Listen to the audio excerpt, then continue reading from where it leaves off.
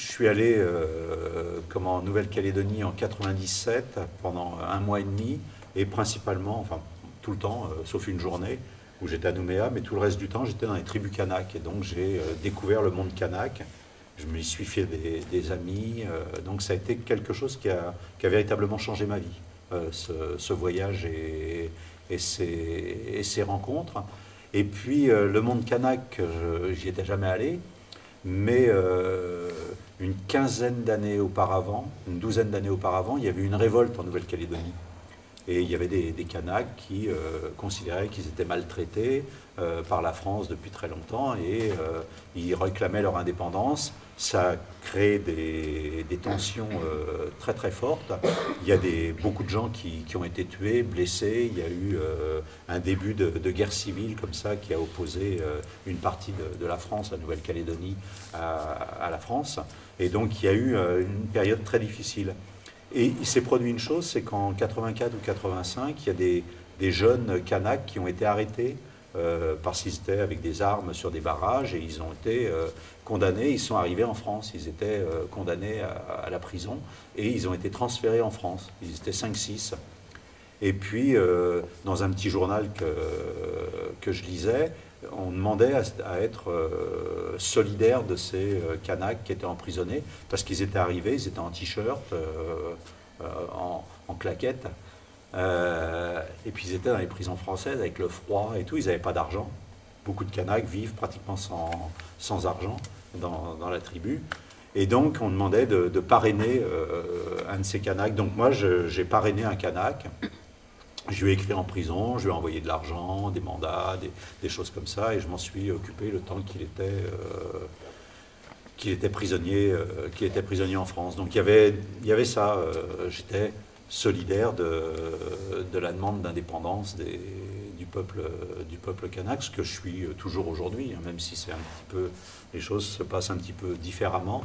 Et la manière dont ça se passe actuellement, en, négociant, en y allant pas à pas comme ça, ça me paraît être une bonne, euh, une bonne méthode.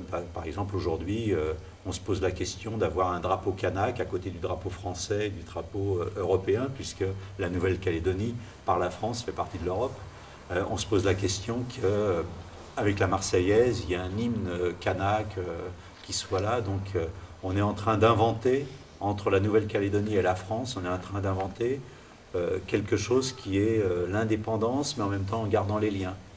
Et si ça avait pu être possible euh, il y a des dizaines d'années avec l'Algérie, on n'en serait peut-être pas là aussi dans le monde si l'Algérie était devenue indépendante en gardant les liens et qu'il n'y ait pas eu toute, toute cette dureté de la guerre et puis tout cet exode des gens qu'on a appelés les pieds noirs.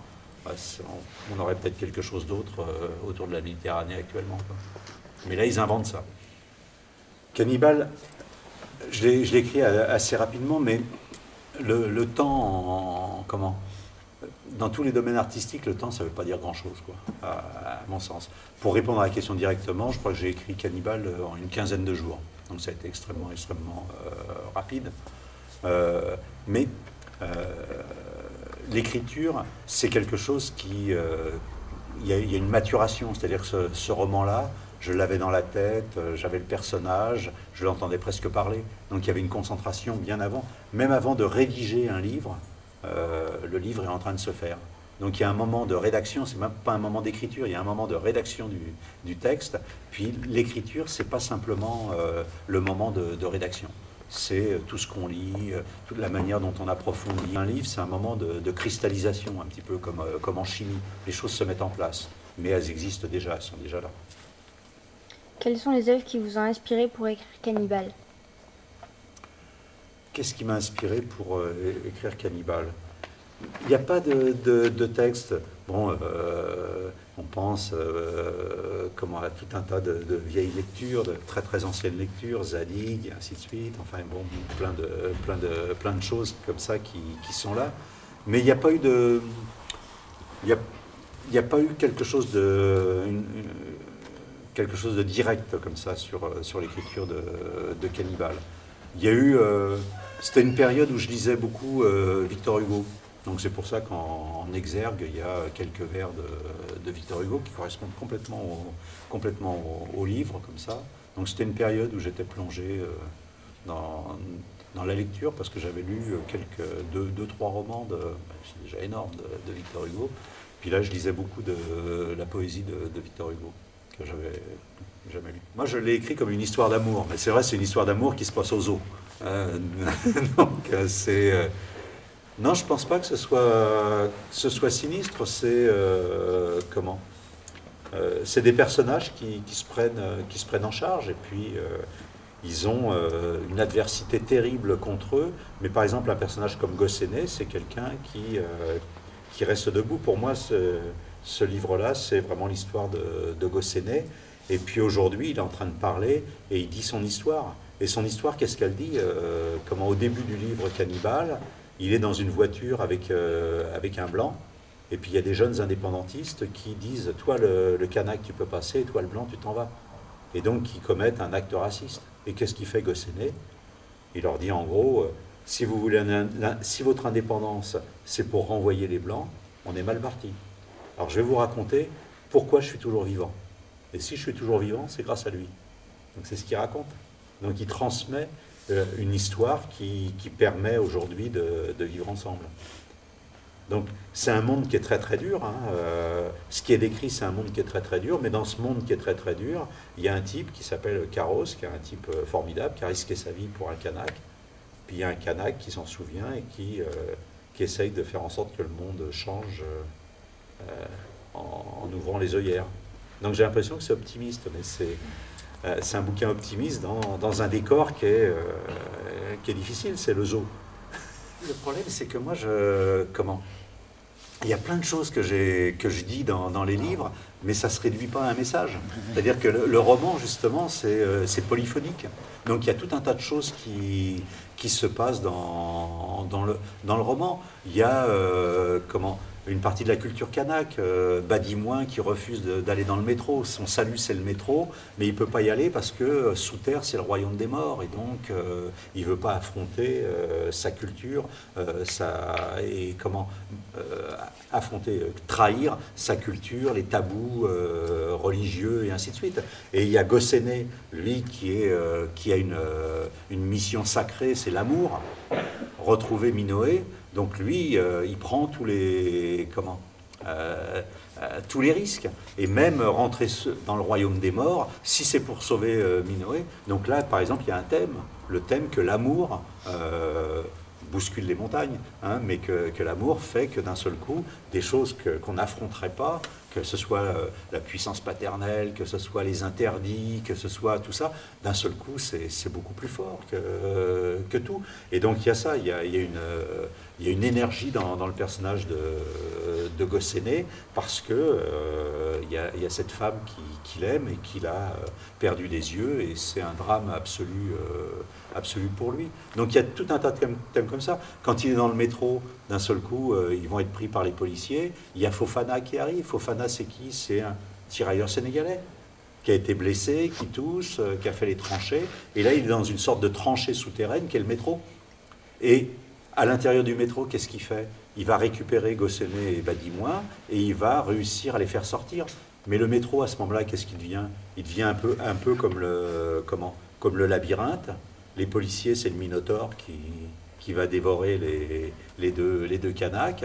Et Fofana, c'est le fil d'Ariane, c'est lui qui va les emmener et tout. Donc là, j'utilise euh, des mythologies euh, connues à peu près par, euh, tout le monde, ou si on ne les connaît pas, on peut les apprendre très rapidement. Hein, le, labyrinthe, le minotaure, le fil d'Ariane, toutes ces choses-là. Donc je reprends des, choses aussi simples que, ça à l'intérieur du, comment, à l'intérieur du, roman. En plus, il y, y a des thèmes qui sont que des gens qui viennent, c'est des sauvages. Hein, les Kanaks, on les prend pour des sauvages. Donc ils viennent de, la jungle. Hein, c'est des cannibales. Et d'un seul coup, ils se retrouvent dans Paris. Et là, on a la jungle urbaine. Et les, pires des dangers qu'ils ont jamais eus, c'est là, c'est à Paris. Quand ils étaient euh, comme en Nouvelle-Calédonie, ils étaient en totale sécurité chez eux. Et d'un seul coup, ils sont transplantés, on les prend pour des sauvages, mais qu'est-ce qui est sauvage? C'est la ville de Paris qui est sauvage pour eux. C'est une ville avec des bidonvilles, avec des gens qui, sont, qui vivent et tout. Donc ils, arrivent dans un milieu extrêmement, extrêmement euh, hostile. Donc il y a des inversions à chaque fois, il y a, tout un tas de, choses. Et donc l'espace du roman, c'est cette euh, polyphonie, c'est-à-dire qu'il y a 50, 60, 100 thèmes qui, sont, qui s'entrecroisent et il n'y a, pas, il a pas un message parce que dans la vie, il n'y a pas de message. Il n'y a pas un message unique. Le, message, il est multiforme. Quoi. comment s'il y avait une seule, euh, euh, une seule vérité euh, à, laquelle se cramponner pour, pour y arriver et tout, non, le, problème c'est que, comment il y a tout ça, quoi. Et, on le fait avec ce qu'on est, avec sa culture, avec les gens qu'on rencontre. On, on, bricole une manière de, comment, euh, de s'en sortir du mieux possible sans écraser les autres. Donc c'est un petit peu ce qui se passe dans le, dans le livre. Historiquement, quand on regarde la manière dont la colonisation s'est passée à peu près partout, que ce soit, moi, bon, mes, mes, ancêtres belges, ils ont colonisé le Congo, ça a été, euh, ça a été la colonisation des cimetières, ça a été vraiment, euh, comment euh, une extermination d'une partie du, peuple, du peuple du Congo. On voit comment les, Anglais ont colonisé l'Inde et d'autres pays. À chaque fois, ça s'est fait de manière extrêmement euh, comment, dure par, par le fer et, par, par, le sang. Quand on voit comment les Espagnols ont colonisé euh, l'Amérique du Sud, c'est un martyrologue et tout. Quand on voit comment les Américains venus de tous les pays d'Europe ont colonisé l'Amérique du Nord par l'extermination des Indiens. On voit euh, toutes ces formes de, colonisation qui sont des formes de colonisation d'une très, très, très, très grande violence. Quand on voit aujourd'hui euh, des colonisations, euh, comment même moi, si l'utopie de l'État d'Israël, c'est une utopie que, je, que je partage, euh, et tout, la manière dont ils colonisent une partie de, leur territoire et comment ils volent euh, des, terres qui, toutes les institutions disent qu'elles appartiennent aux Palestiniens.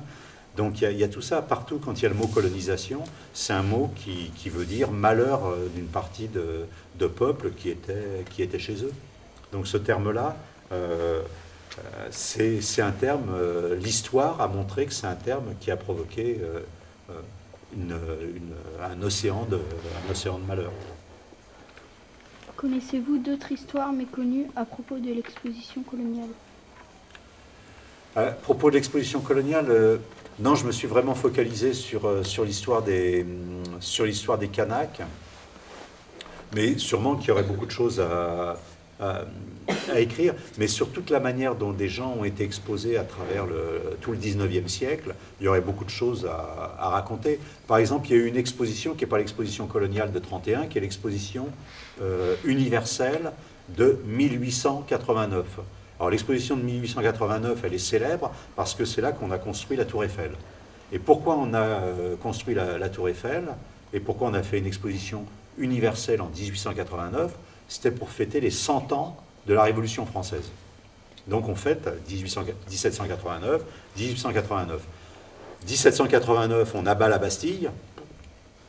1889, on éclaire le monde avec, euh, avec la Tour Eiffel. On bâtit la Tour Eiffel. Donc il y a un geste comme ça, il y a une adresse au monde. La Révolution française, c'est tous les hommes naissent libres et égaux. Et qu'est-ce qu'on fait en 1889 à Paris? Eh bien on fait comme, on fera en 1931, c'est-à-dire qu'on met des, euh, peuples colonisés, on les, euh, on les présente comme des animaux. Est-ce que ces gens-là ne sont pas nés libres et égaux en droit? Si, pourtant. Et pourtant, euh, on fait le contraire. Donc, on est dans un pays contradictoire où on dit des choses, liberté, égalité, fraternité, et quand on colonise, eh ben, les, peuples colonisés, on ne les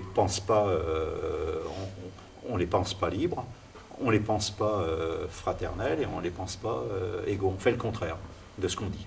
Donc c'est ça. Euh, et à l'exposition de 1889, il y aurait quelque chose à raconter.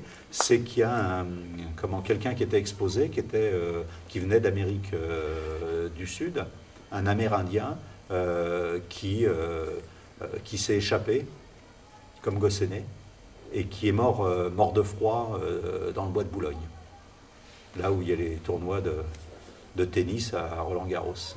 Donc il est mort euh, en 1889. Là, il y aurait une histoire à, écrire, par exemple. Pourquoi des gens ont voulu cacher cette injustice? Cacher quoi? Bah, l'injustice.